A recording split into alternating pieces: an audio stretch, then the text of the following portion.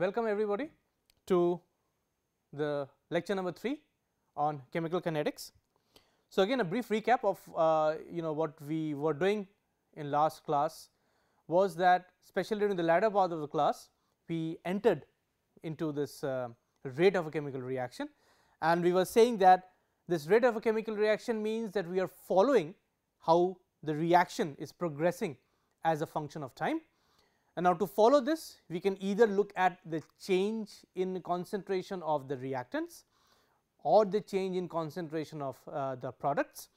And we use certain techniques certain analytical techniques right? It can be you know pH change it can be color changes you know it can be a change in pressure it can be change in conductivity. There are many ways by which you can monitor a reaction or the progress of a reaction. And again the progress of the reaction can be monitored either by looking at the change in the concentration of the reactants or the change in the concentration of the products or both. Okay. Now, there was also a very important point that uh, we made. The point was that you know reactions are temperature dependent, right. So, if you are not interested in the temperature dependence of that reaction, then you please make sure that the reaction you are performing is being done at a constant temperature. That means, you are maintaining the temperature which we typically call as isothermal conditions and then you go ahead and do the reaction provided the temperature dependence is not your goal. However, it is obvious that if you really want to measure the temperature dependence of the reaction rate then you have no other option, but to allow the change in temperature to happen. So, that you can get the temperature dependence. Okay. So, then after that you know having you know said all these what it did was we moved on to a reaction and the reaction is as it is uh, given out here I will not write it again. So, the reaction is uh, that of hypochlorite ion with bromide giving hypobromite and chloride. All of these are in the aqueous phase that is a homogeneous reaction taking place in the same phase. Okay. So, we say that this is an example of a homo homogeneous reaction. Okay. That means, the reactants are in the same phase and so are the products. Okay. As again I mentioned a few minutes ago, the kinetics of this reaction are being studied at a fixed temperature of 25 degrees Celsius or 298 Kelvin. That is again you are maintaining isothermal conditions. Okay. Good. Then we had just started to draw a reaction profile. Now, what does this reaction profile mean? This is a kinetic reaction profile. The kinetic reaction profile is a plot, is a plot of what? It is a it is a plot of the change in the concentrations of your reactants and or products as a function of time. So, let us go back and take a closer look at the plot. So, on the x axis you have time in seconds that means the time is increasing in this direction. Okay. So, the time is increasing in this direction and on the y axis you have the concentration which we are expressing in moles per liter or molarity and the concentration is also increasing in this direction. Okay. So, that means along the y axis you start from 0 and then the concentration is increasing along the x axis again you start from 0 and the time is increasing in this direction. Now, what do you see out here? What have we plotted? First, if you look at this two blue lines, see the first blue line corresponds to the concentration change of hypochlorite. The second blue line corresponds to the concentration change of bromide, right. And what about the green line? The green line corresponds to the concentration change of hypobromite and Cl minus that means either you are looking at hypobromite that is bromide uh, that is BrO minus or Cl minus and both of them change exactly in the same way. That means, if you are looking at BrO minus only the hypobromite it will follow this line green line again it will if you look at Cl minus separately it will follow exactly the same line that means these two are superimposable on each other they are identical. Okay. that means the change in concentration of the products with time is identical that is why we have only one curve one green line. Let us think about this a little more deeply about this plot. So, when you look at these circles when you look at these circles all these circles out here you know these circles. So, these circles on all the three lines the two blue lines and the green line these circles are your experimental time points which means that suppose if you consider this line of you know three circles this one say corresponds to T 1 then this corresponds to T 2 this corresponds to T 3 this corresponds to T 4 this corresponds to T 5. So, what does it mean?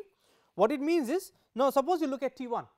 So, let us focus on T 1 at T 1 you have one circle on the green line which is that of the products then you have another circle on the line signifying the concentration change of Br minus then you have another circle exactly at the same time point on the line signifying the change in hypochlorite which means which means that at T1 at T1 you have measured the concentration of all the species which are hypochlorite this one then bromide which is this one and the hypobromite or Cl minus which is this circle.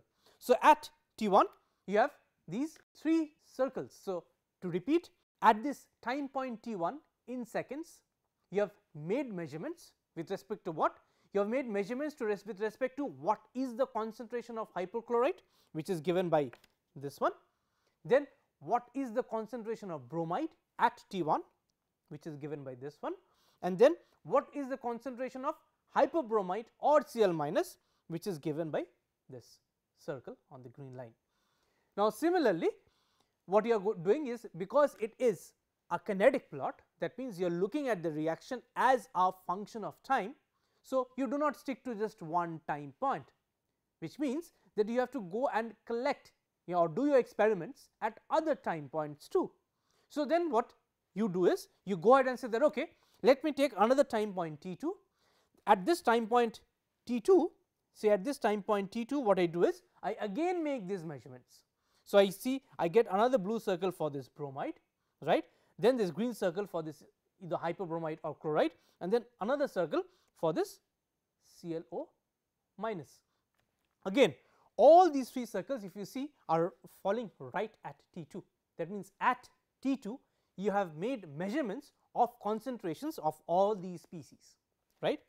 So, likewise what you do is you collect more time points that means you go to T 3, T 4, T 5 and that is why according to the time points you will see that especially on this plot you have 3 circles according to each time point. So, in a nutshell what you have done is you have followed the reaction. How? You have followed the reaction by looking at the change in concentration of bromide looking at the change in concentration of hypochlorite and also looking at the change in concentration of hypobromite and Cl minus. And because hypobromite and Cl minus give you exactly the same change that is why you do not see two different curves you have one curve which both of which are rather which signifies that both BRO minus and Cl minus they are following the same trend. Okay, good. Now, before I proceed further I would also like to make one more point. The point is see these circles which we were just talking about at length these circles are your experimental points. Experimental point means that at T 1 at T 1 right you have measured the concentration say of hypobromite or Cl minus then at T 1 you have measured the concentration of this is bromide and at T 1 you have measured the concentration of hypochlorite. Like this you do the same thing at T 2, T 3, T 4 and T 5.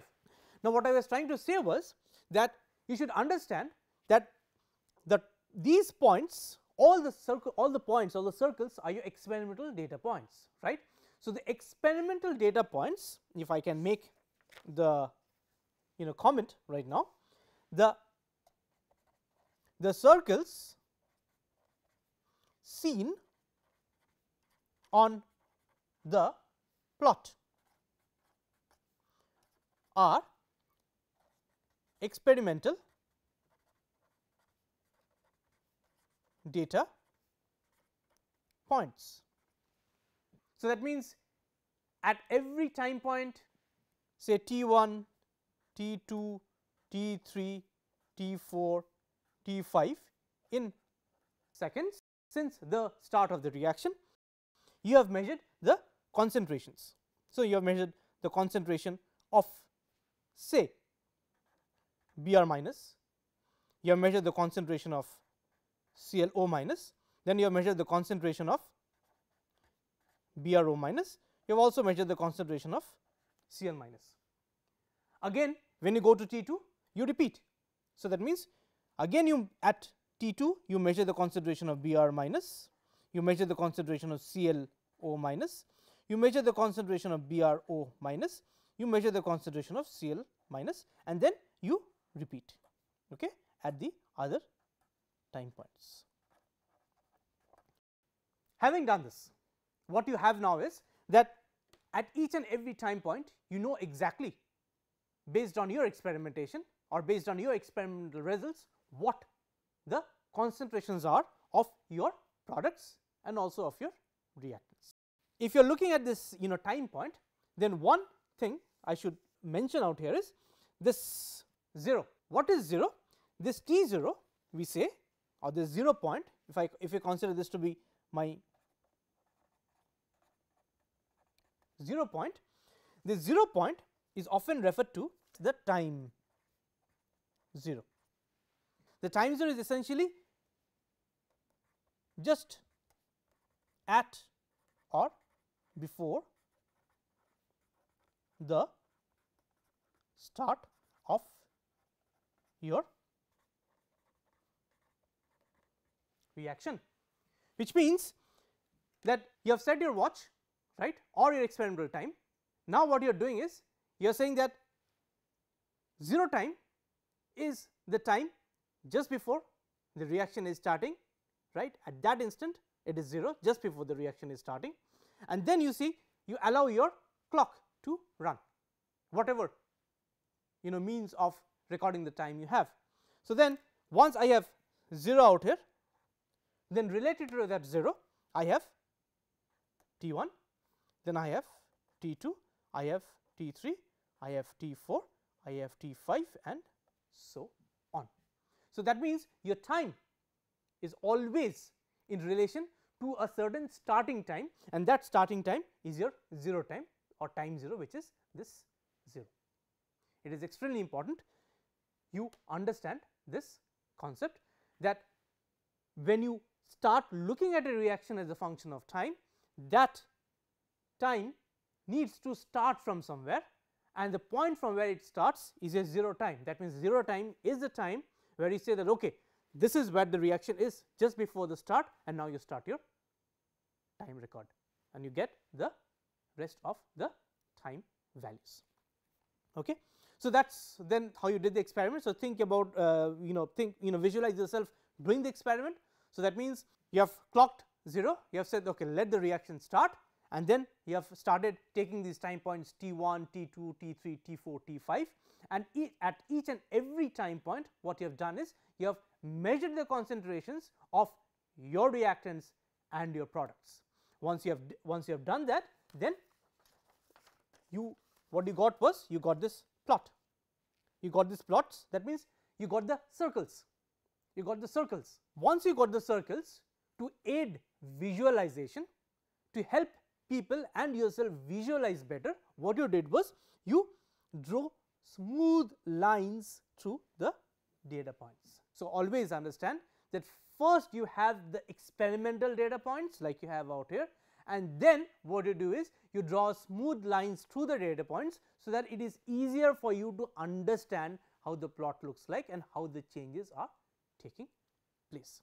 I hope I have emphasized you know the nature of this plot enough that when you look at a plot like this you would be able to figure out what the different components are of this plot and what they mean to you and how they appeal to you. you know, that is something always you should think about and visualize yourself doing the experiment yourself. So, let us look at uh, you know let us look at some uh, features of the plot. So, then say some features of the plot. Say feature number 1. In feature number what you see is that the concentrations of the reactants, the concentrations of the reactants that are ClO minus and Br minus decrease with increase in time. Okay. Second feature concentrations of the products that are BrO minus the hypobromite ion and Cl minus increase with increase in time. Okay. So, these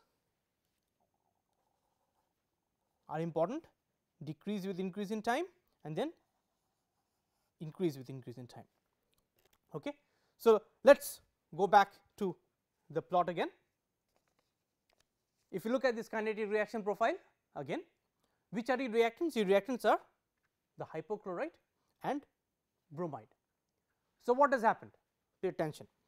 This is a 0 time that is just before the start of the reaction and just at the start of the reaction and then the time has progressed as you move to the right along the x axis. Okay. Now, as you move to the right at your respective time points t 1, t 2, t 3, what you see is that say suppose at 0 at 0 time, suppose at 0 time this is the concentration of bromide and this is the concentration of hypochlorite. So, this one I can write as the concentration of hypochlorite, the initial concentration with a 0 or not as a subscript meaning initial concentration. Again here also I can write the initial concentration of bromide. Okay. So, initial concentration means that just at time 0 when no reaction has taken place these are my initial concentrations that is the concentrations of the reactants that we have started with. Now, see what happens as time progresses. As the time progresses slowly you will see that the next point for hypochlorite comes here, the next point for bromide comes here. This is at T 1. Now, you go to T 2, this point comes at a lower concentration than this point, this point comes at a lower concentration than this point, right. I repeat, this y axis, this y axis is where you have your concentration. When you go up along the y axis, it means there is an increase in concentration. When you are moving down the y axis, it means there is a decrease in concentration, right.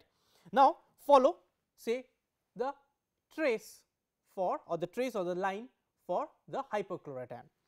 At this point the hypochlorite ion is initial concentration. So, we write hypochlorite concentration then with the 0 at the subscript saying initial concentration. Okay.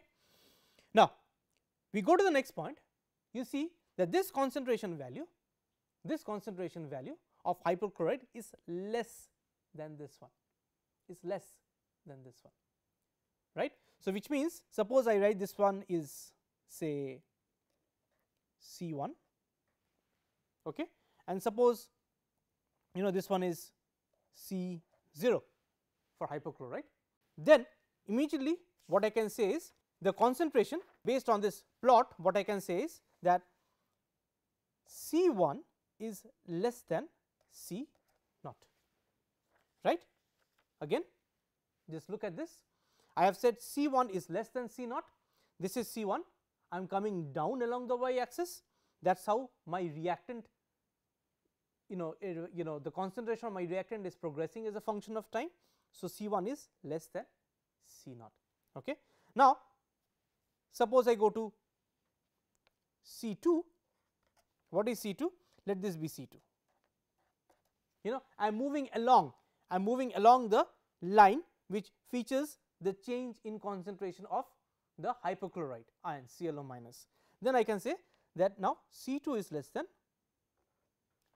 C 1 say this is now C 3 okay.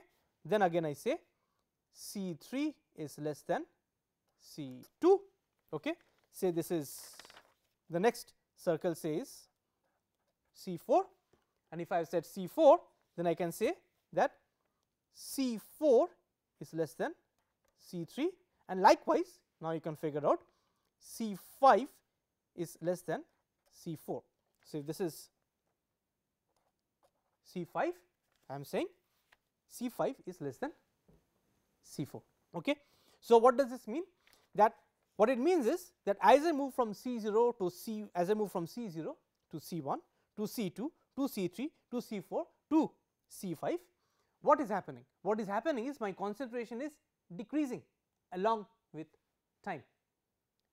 This is obvious is not it? Why is it why is it obvious? It is obvious because it is a reactant. Because it is a reactant a reactant by definition is supposed to react and go to the product side or to the product species which means as I let the reaction go as I let the reaction go the signature of the reaction progressing that means going towards the product side is that my reactant concentration starts decreasing and that is what I am having.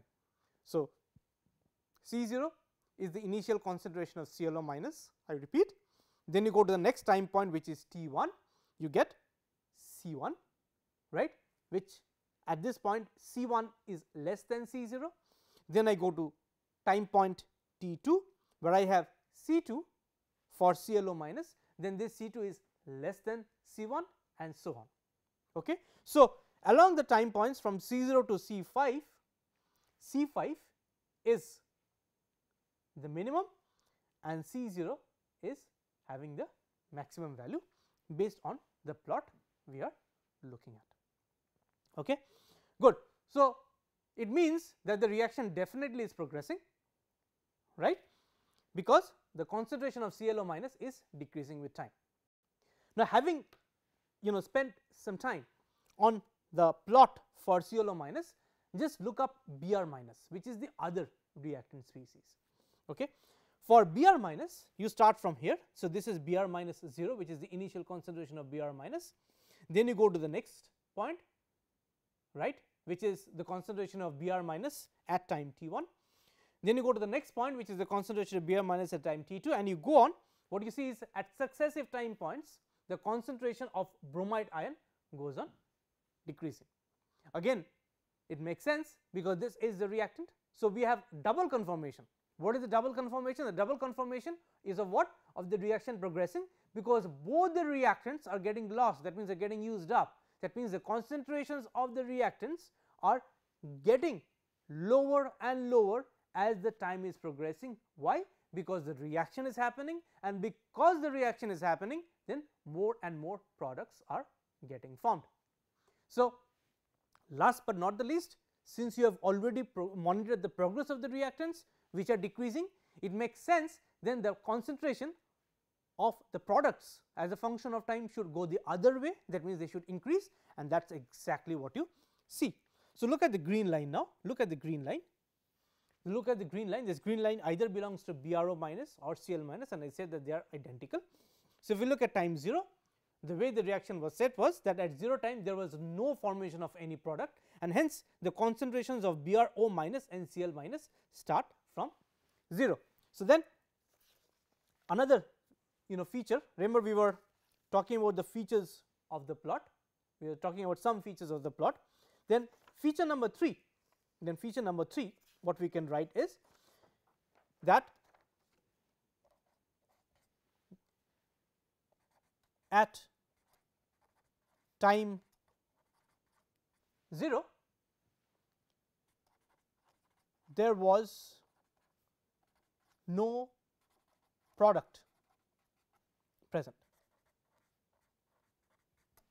There was no product present that is that is I can write the initial concentration of BRO minus at time 0 is equal to the initial concentration of Cl minus at time 0 which is equal to 0 because that is how the reaction was set and when we started the reaction there was no formation of hypobromite or formation of chloride. None of these products were present in the reaction vessel at the time you started the reaction. Okay. Then let us look at feature number 4. So, at feature number 4 you go back and again take a look at this. As we just said feature number 3 was that the products were not present out there at all at the start of the reaction. Then feature number 4 is what you look at the initial concentrations of Br minus and Cl O minus. You see now you can ask yourself, yourself a question. The question is I said that okay the products Br O minus and Cl minus they are superimposable that their kinetic traces are superimposable. That means, whether I do BRO minus or whether I do Cl minus they will exactly follow the same data points and that is why I have written BRO minus and Cl minus because both of them if you measure the concentration separately they would lie on this line. Okay. However, the same thing does not happen for hypochlorite and hypobromite or uh, rather bromide, hypochlorite and bromide. Why is this so? It should be very evident to you. Look at the initial concentration of bromide and look at the initial concentration of hypochlorite. The way we have started with the reaction is such that the initial concentration of hypochlorite is more than the initial concentration of bromide. So, we can write here that at time 0 the concentration of hypochlorite is greater than the concentration of bromide right? Hence the concentration of ClO minus at time 0 which is the initial concentration is greater than the initial concentration of bromide. Okay. So, if I just have to make it a little more clear I can say that what is ClO minus 0 this is the initial concentration of ClO minus what is meant by Br minus with the 0 subscript at the bottom it is the initial concentration of Br minus. So, then what was feature number 4?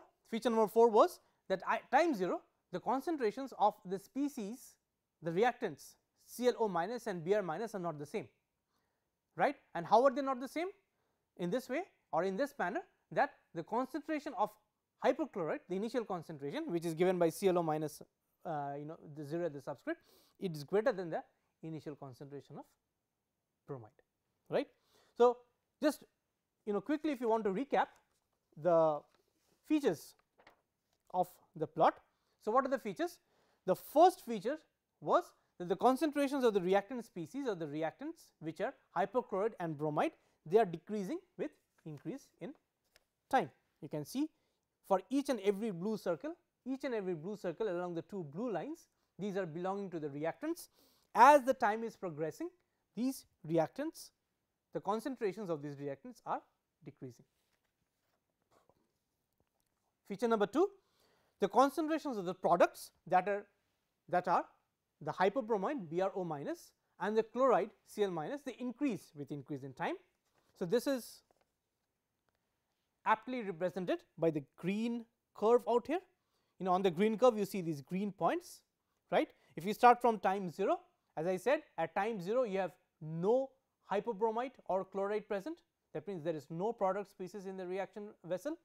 At time t 1 you can see that this is C this C is greater than or this concentration is greater than what you have at time 0 right? Where you had no species at all uh, product species at all.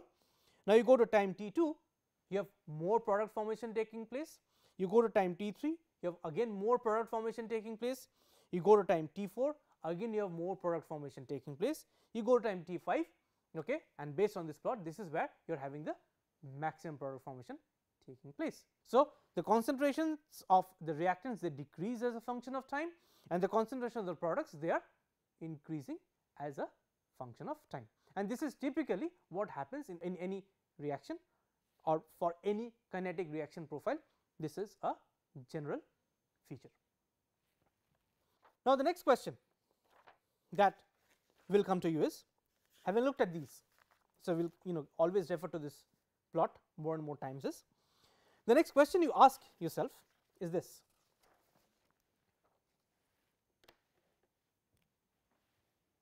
how do the concentrations change as a function of time. This is a question that you are asking based on the plots. Now, what would you see out here or what would you look at from the plot?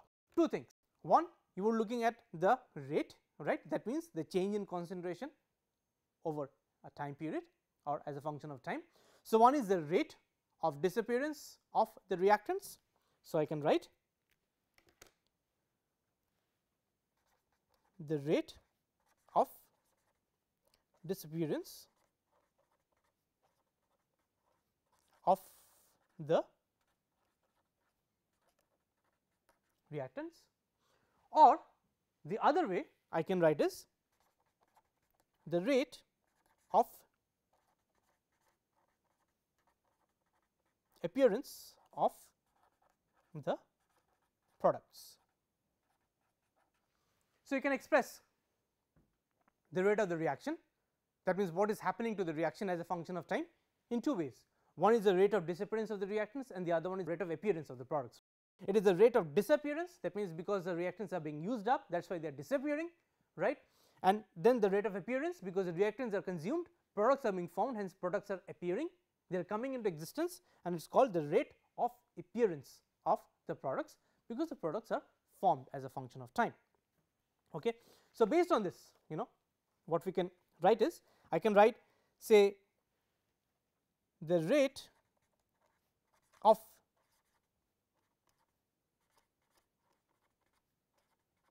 disappearance of say ClO minus is given by minus d of t or I can write in more finite terms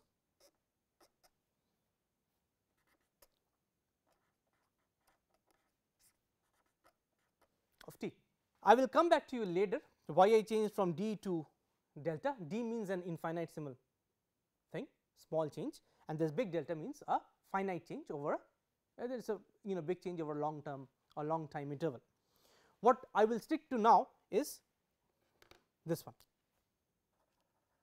Uh, what I will stick to now is this one. So, the delta CLO minus over delta T. Okay. Now, let us go back to our reaction profile. Suppose I am looking at this, I am trying to you know I am trying to find out this value ClO minus over delta T. what is this equal to? So, I should put a negative sign out here I will come back to this negative sign right now. Now, when I say this when I say this when I say a change delta means a change over a finite time interval or a finite concentration range right. What I am looking for is say I look for two time points. What are the two time points? Say I look for the time point t 3 and the time point t 1. Then I say that my delta t, what is my delta t out here? In the denominator I say my delta t is t 3 minus t 1, right. So, what I say then is I look at the plot, I look at the plot. When I look at the plot what I say is I look at t 3, okay. I look at t 3 and then I look at t 1. I want to say or I want to figure out then in between these two time points T 3 and T 1 how has the concentration of hypochlorite changed. Okay. So, then at T 3 if I extend this dotted line I hit C 3 right. So, which means at T 3 at T 3 the concentration of hypochlorite is C 3 right from this curve right. Now, T 1. So, when I go to T 1 I again extend this if you just look at the dotted lines I hit C 1 which means that if at T 3 the concentration of hypochlorite was C 3 then at T 1 the concentration of hypochlorite if I track along T 1 it is C 1. So, I write C 3 minus C 1 right. Now, when I write C 3 minus C 1 and T 3 minus T 1 then you have done or you have taken a very very important step. What is the step? The step is this C 3 is less than C 1 right you see the concentration of C 3 is less than the concentration of C 1 which means which means that C 3 minus C 1 is a negative quantity.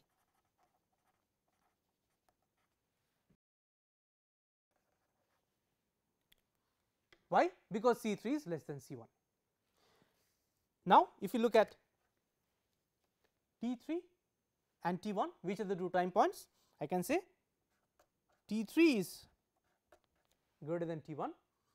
If T 3 is greater than T 1 if T 3 is greater than T 1 then I can say that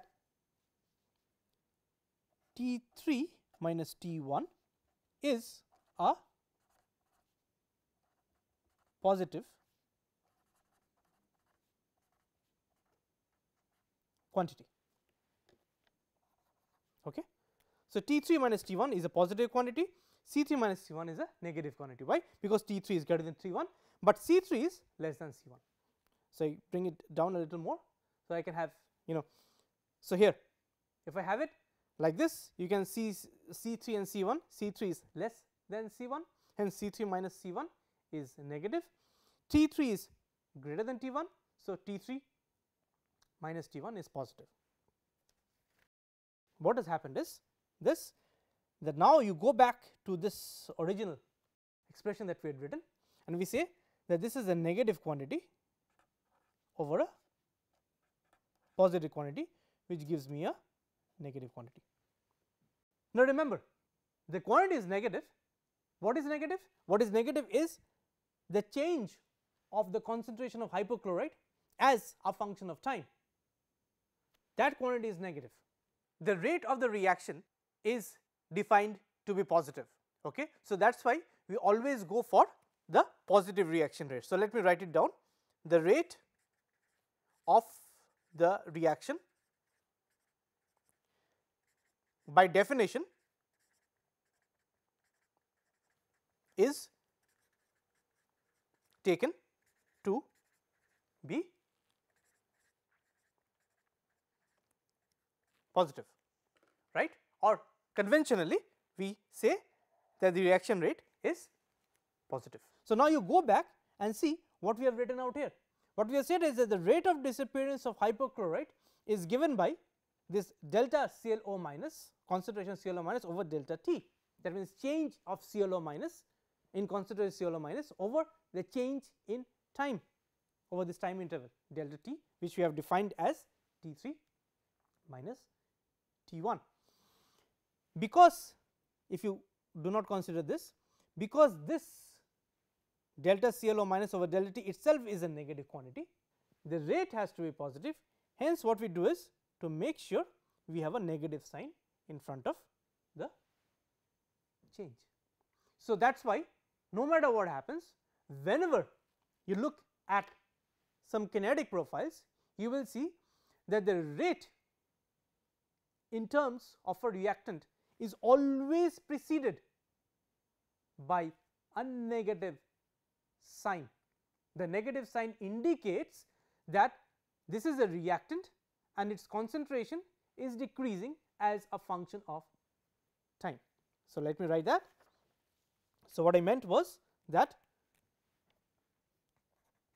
rate of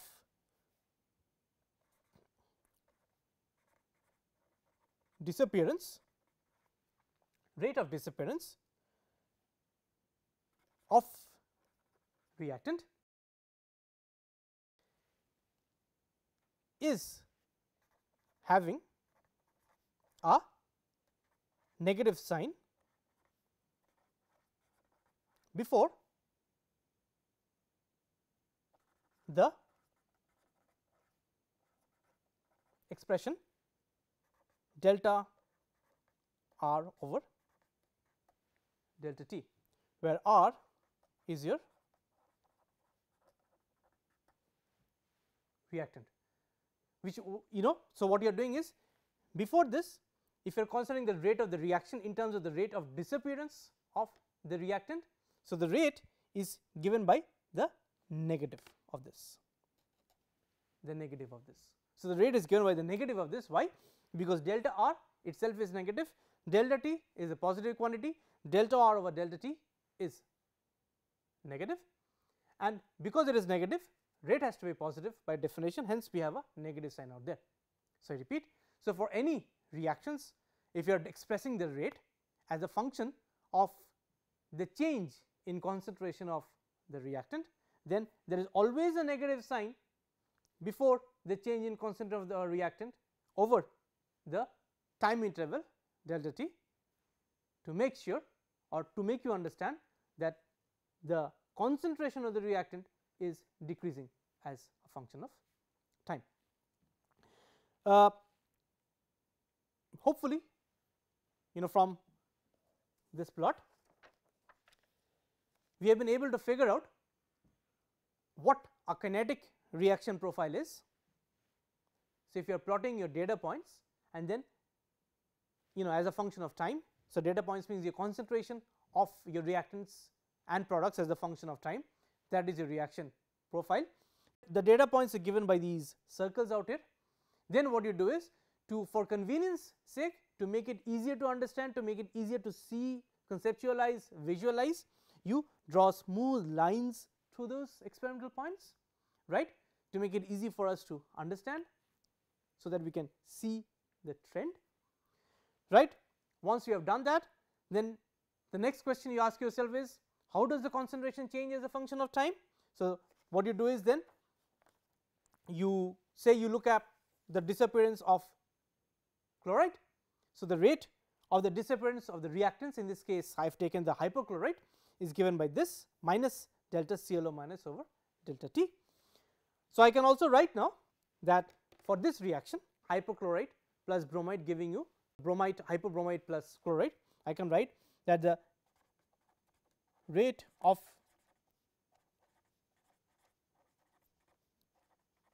disappearance of reactants is or can be given as this which we just saw over delta t. So, there is a negative sign this is equal to B r minus over delta t with a negative sign because both of these are your reactants and both of these are decreasing as a function of time that makes sense right. So, for obvious reasons now when you go forward and say that okay the rate of appearance of products can be expressed how? I can write delta B r O minus over delta T and this is equal to delta C L minus over delta T. And you see there is a positive sign before these because these by definitions are positive and why is this so? Why, why are these by definition positive? You come back and take a look at this, come back take a look at this right.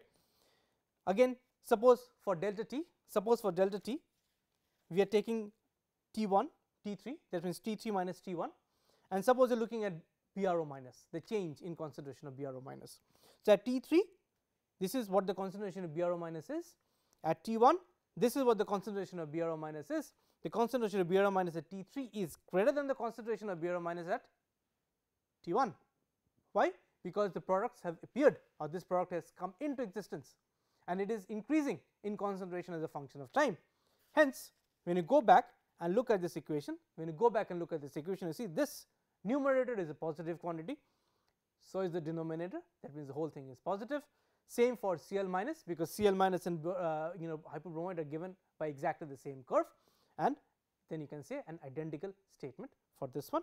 So, this is also positive right. So, then again like for reactants the rate of reaction is expressed in terms of the negative of the change in concentration of the reactant over time.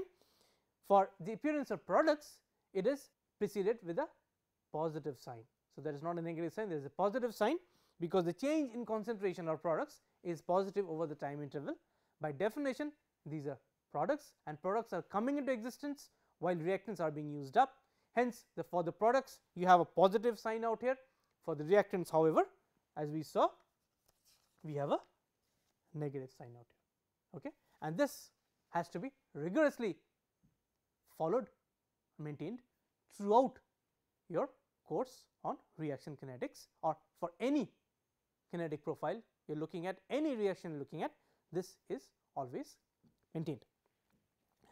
Now, before I uh, you know take uh, one more thing up I want to just uh, tell you that this is a very important set of uh, curves or plots which we will come back to later in one of the future lectures maybe uh, you know after the next lecture or maybe the next lecture itself where we will discuss something referred to as or known as average rates and instantaneous rates and we will talk about you know, these things in more detail at that. Now, I want to shift uh, gears a little bit and try to look at something which is very fundamental to chemical kinetics. What is that? Assume a certain general reaction. Take any general reaction. The general reaction goes how? See I have this reaction going on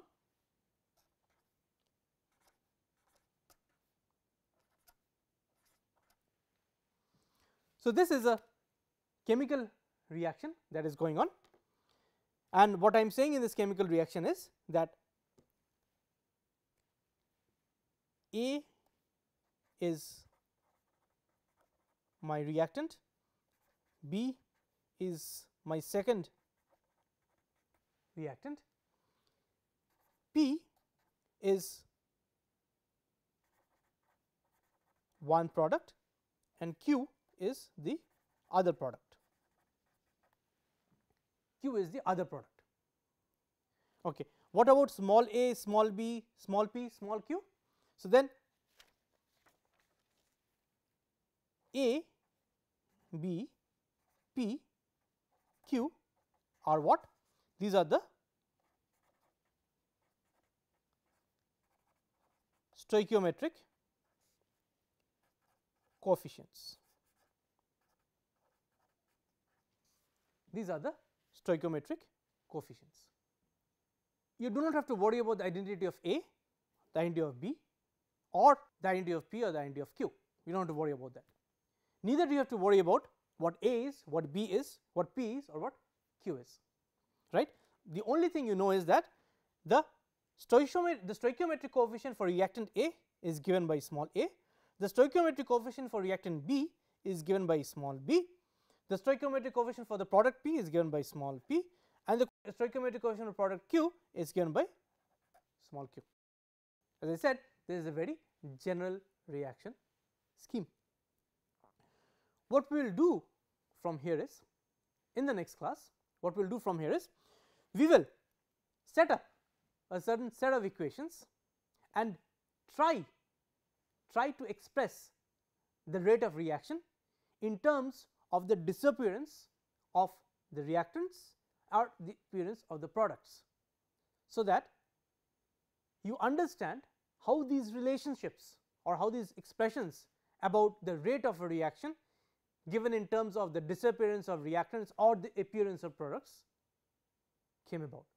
Okay. So, we will in the next class we will start from this specific general reaction scheme okay, and we will take a time to understand how the basic fundamental expressions for chemical kinetics were brought into existence. Okay.